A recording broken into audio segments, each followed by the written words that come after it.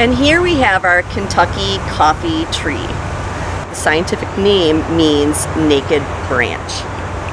There are a few distinguishing features about the Kentucky coffee tree. The first one being the leaf. Yep, this is just one leaf.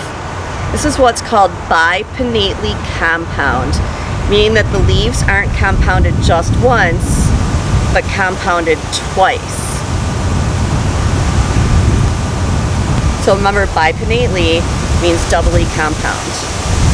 So the leaves on a Kentucky coffee tree are rather large. Kentucky coffee trees are also dioecious, meaning that there's a male version and a female version, and the female is the only one that makes the seed pods. These seed pods start off green and then become a dark brown color and are very hard on the outside.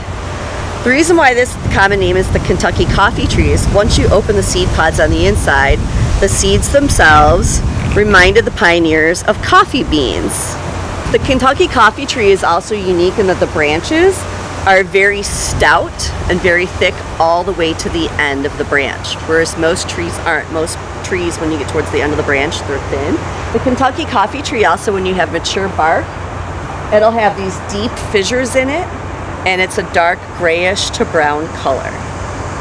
So remember, if you have a Kentucky coffee tree in your yard and it's not making seed pods, chances are you have a male version of the Kentucky coffee tree.